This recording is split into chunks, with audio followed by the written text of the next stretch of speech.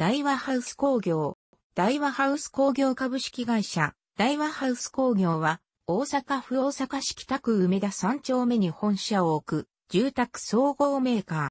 ー。創業者の石橋忍が、戦時中に捕虜として、ロシアに連行され、シベリアの強制収容所にて、極寒の地で過酷な労働の日々を送った経験から、帰国後に生活する上での衣、食、13要素、10の重要性を認識し、いついかなる時でも、すぐに建てられる丈夫な住宅を普及させるべく、事業を開始する。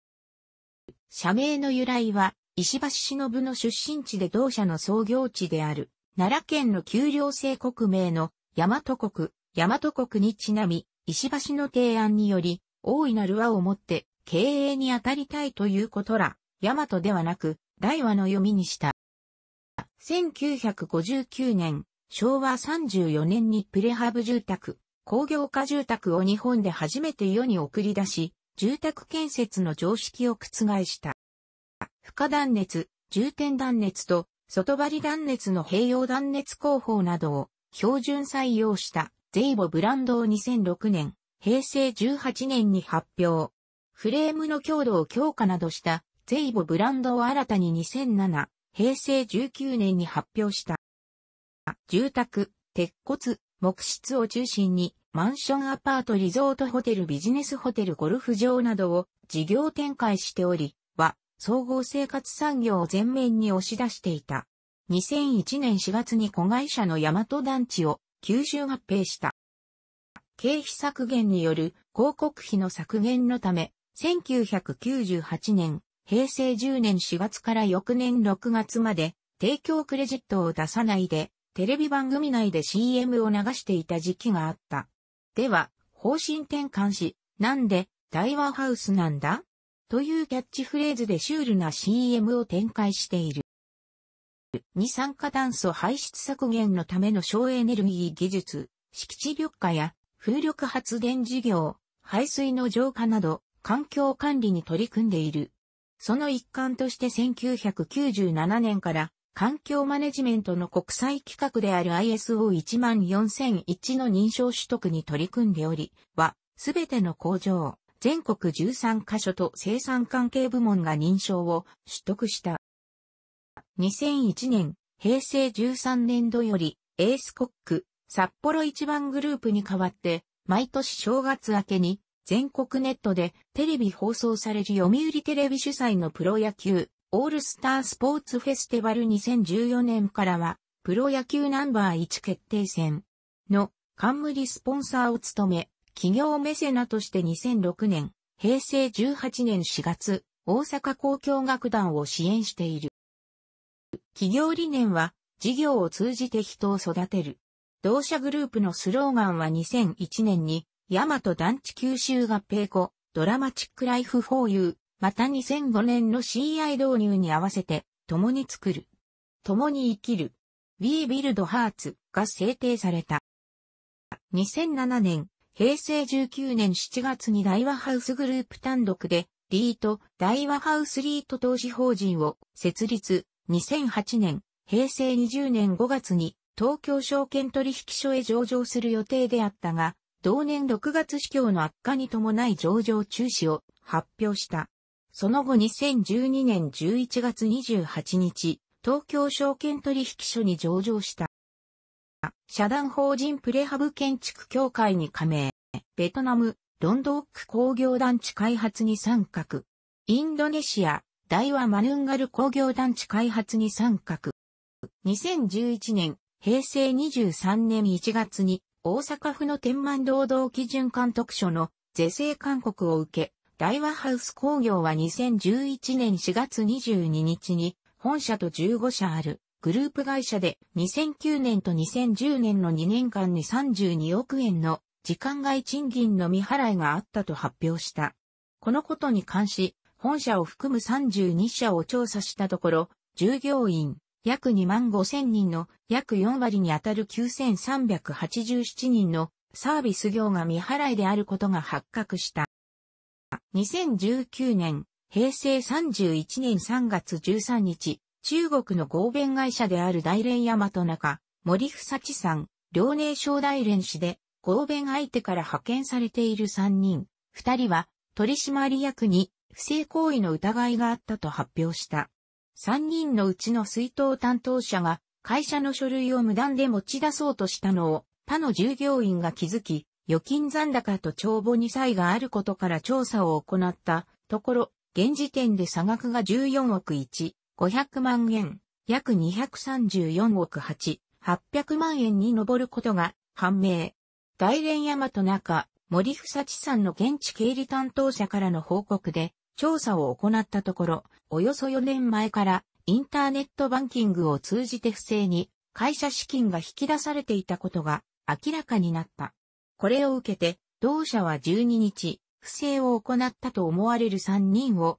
中国捜査当局業務上横領などの疑いで刑事告訴する手続きに入った。大和ハウスは大連山と中、森房地産が持ち分法適用関連会社のため、この差額が不正流用でありその全額が回収できなかった場合は、約117億円の持ち分法投資損失、経常損失を計上する見込みだと説明。吉井圭一社長は、ガバナンスという言葉になってしまうが、まずこの体制が非常に甘かった。この結果を招いたのは、そのことに尽きると思いますと述べた。なお、住宅開発と販売を行う大連山と中、森房地産は2005年の設立で、大和ハウスが83.65%、大連中世集団が16.35%を出資している。資本金は33億元。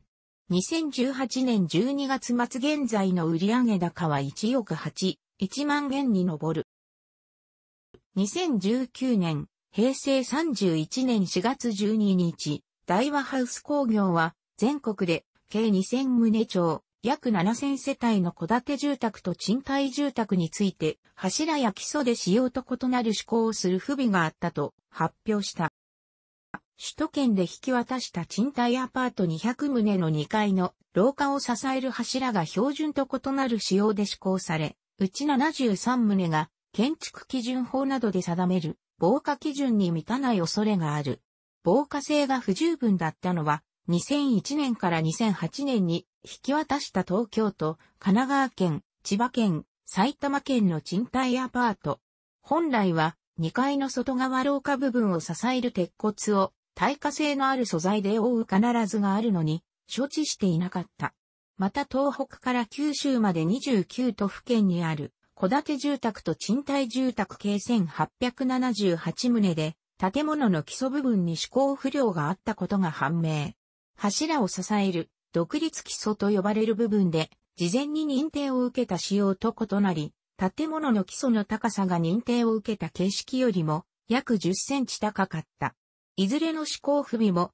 国の制度改正に対する設計者の認識不足などが理由というが、住宅業界では2013年の三沢ホーム以来、賃貸アパート大手レオパレス21でも、施行不良が明らかになっており、同様の問題が発覚したことで、2016年12月に社員からの内部通報があり、発覚。2018年7月から調査委員会を設置して、2000年以降に販売した約22万棟について調査を進めてた。違反には約170人の設計者が関わっており、国の認定を得る前に誤って新しい設計、工事をしてしまったという。土田和人専務は大阪市内での記者会見でお客様にご迷惑とご心をおかけし、深くお詫びすると謝罪。多数の違反を見過ごしていた理由については、有吉義則常務が現場からのフィードバックがきちんと回っていなかった。情報伝達が不十分だったと説明した。国土交通省は同社に対し、住宅所有者らに丁寧な説明を行うとともに、回収を行うよう指示した。2019年4月15日の東京株式市場で、大和ハウス工業の株価が大幅に下落し、一時3106円まで下げて、年初来安値を更新した。終値は前週末比124円、3.8%安の3142円だった。12日に一戸建て住宅と賃貸共同住宅、契約2000棟で、建築基準法に違反する恐れがあると発表したことを受け、業績悪化を懸念する売りが広がった。2019年、令和元年6月18日には、新たに約1900棟の違反物件が判明したと発表。違反物件は約4000棟と4月の発表時から倍増した。社内のシステムから抽出したデータの母数に漏れがあったという。4月の発表後、違法物件がさらにあるとの連絡が事業所から本社に入り、再調査していた。吉井圭一社長は、大阪市内で記者会見を開き、非常に申し訳なく思う。我々の精査が行き届かなかったと謝罪した。同社はこの日、問題に関する外部調査委員会の最終報告書も発表した。2007年に関東地方の事業所から本社に不備について問い合わせがあったが、具体的な対策を講じず、法令を守る体制の問題やコミュニケーション不足が指摘された。2018年平成30年9月、同社の委託先の水道設備会社の従業員3人が、福岡県締め町の同社建築のアパートの受水槽内で泳ぐ様子をインターネットの動画投稿サイトに投稿。事態を把握した同社は2019年、令和元年6月13日までに、委託先企業への教育を徹底させるとした上で、福岡県警察課須谷警察署に被害を届け出た。2019年、令和元年8月、同社が運営する温泉施設岩塩温泉リンクの湯において、岩塩天然温泉、ヒマラヤピンクソルト使用などと歌いながら、実際には工業用水を使い、ピンクソルトも用されていなかったため、大阪府から業務改善命令が下された。かつて、東京都中央区日本橋には、東京支店から昇格した東京本社があったが、千代田区飯田橋移転を機に、東京支社へ降格。その後、2013年4月1日付で、再び本社へ昇格。ただ、実質的な本社機能や登記上の本店は引き続き、大阪府大阪市に置く。楽しくご覧になりましたら、購読と良いです。クリックしてください。